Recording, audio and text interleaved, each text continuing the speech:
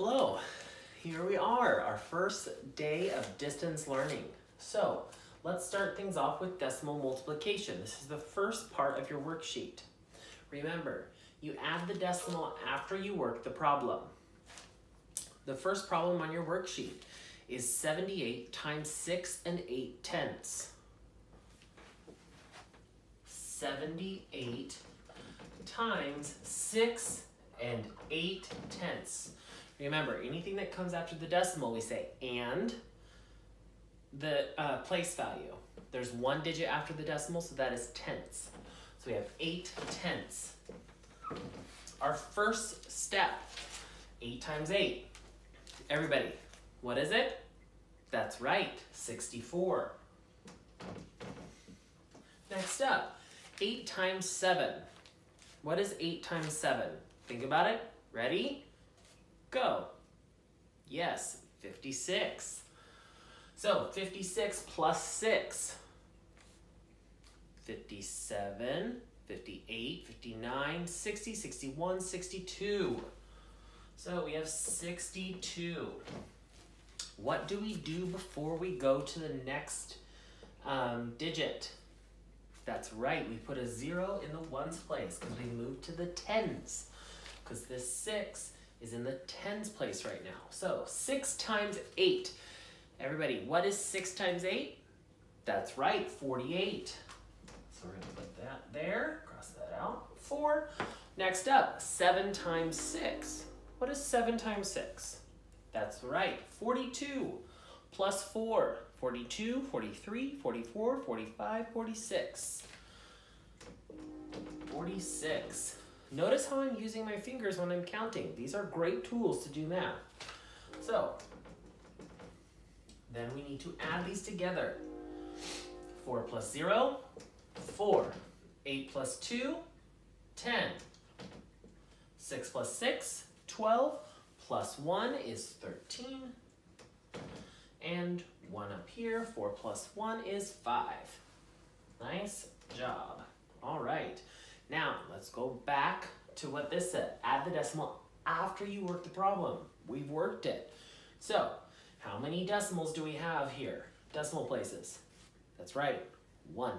So, I need to move my decimal that would be here right now over one. So my answer is 530 and 4 tenths.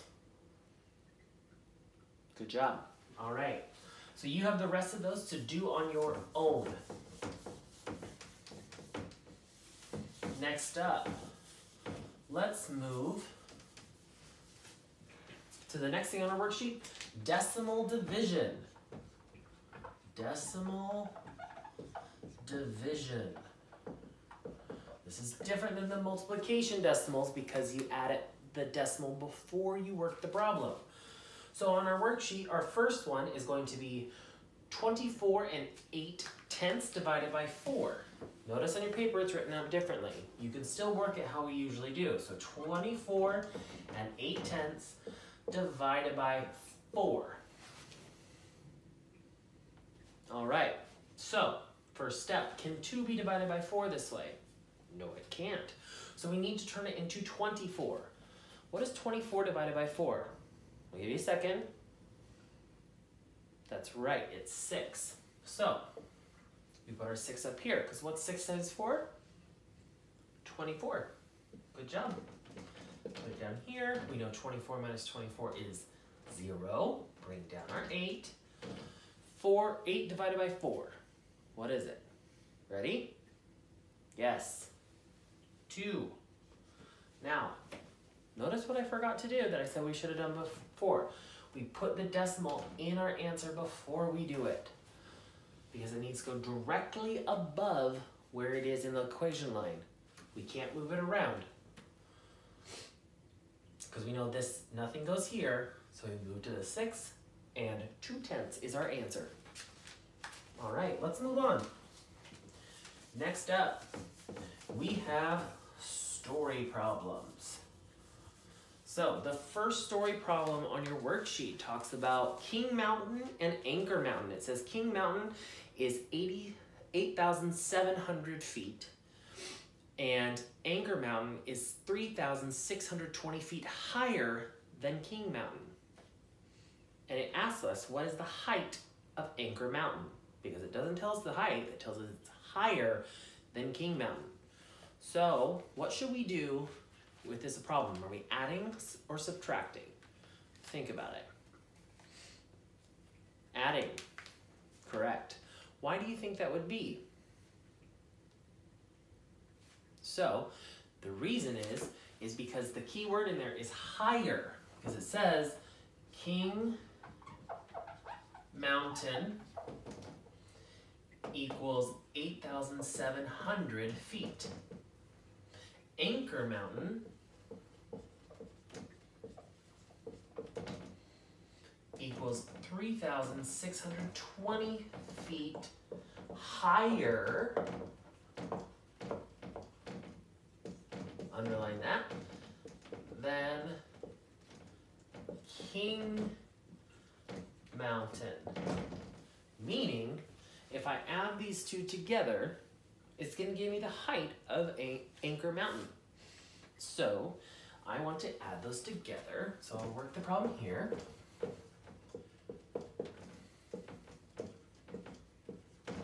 We all know what 0 plus 0 is, right?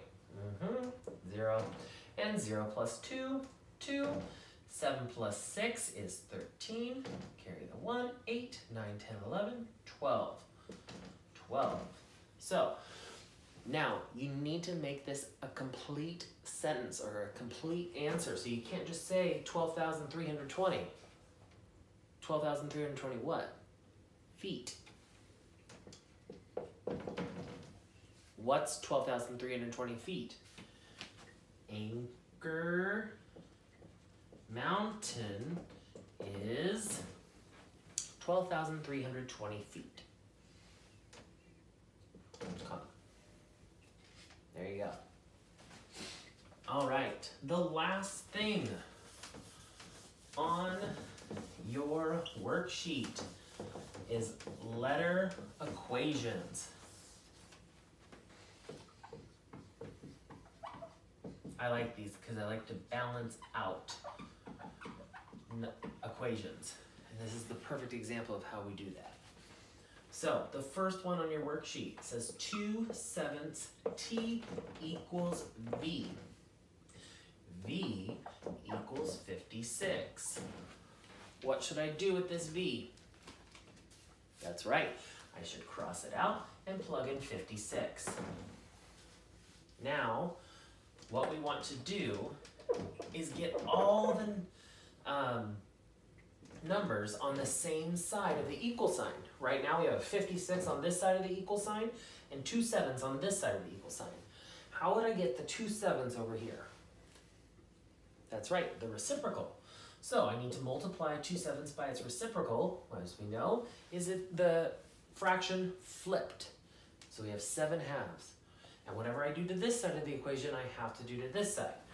So I have seven halves over here as well, because we know this altogether equals one, one t, or we can just say t, because there's one of them.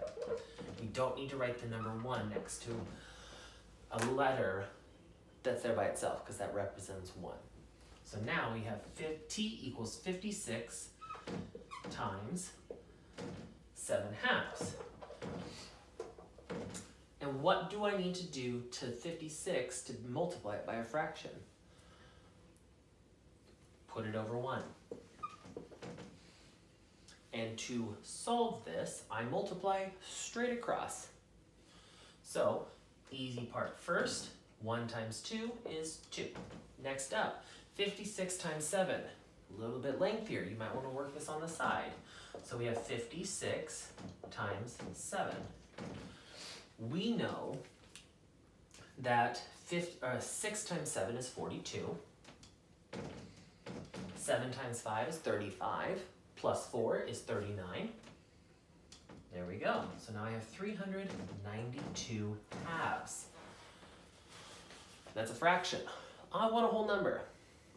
So, I have 392 halves. what would I do to turn that into a whole number and not a fraction? Divide it. So, again, I'm going to work it over here. So I have 392 divided by 2. So, how many times can 2 go into 3? One time. 1 times 2 is 2. Subtract them. I have 1. Bring down my 9. 2 can go into 19. How many times? 9. Because 9 times 2 is 18. Bring 19 minus 18 is 1. Bring down the 2. Last part. 12 divided by 2, 6. There's my answer. So I know t equals 196. And that is it. The rest you need to do on your own on the worksheet that was provided earlier today. Um, if you have any questions, make sure you message me on Class Dojo. We're going to be setting that up in a great way uh, moving forward for you to submit your work. Um, I should have already talked about that today. If I haven't, let me know, remind me, and I'll get that set up this week. Um, as of right now, as I've said, this week is going to be review, so this is our first step. I'm going to push things a little bit more throughout the week because um, I know you guys are good at this stuff and you're getting better. We left things off on a really good note, and I want to keep that up. So keep up the great work. I look forward to hearing from you. Um, and we're going to get through this. You're off to a great start, I'm sure of it. So remember, this is due later today. I will be looking at it, waiting for you to submit it up to Class Dojo. All right, take care.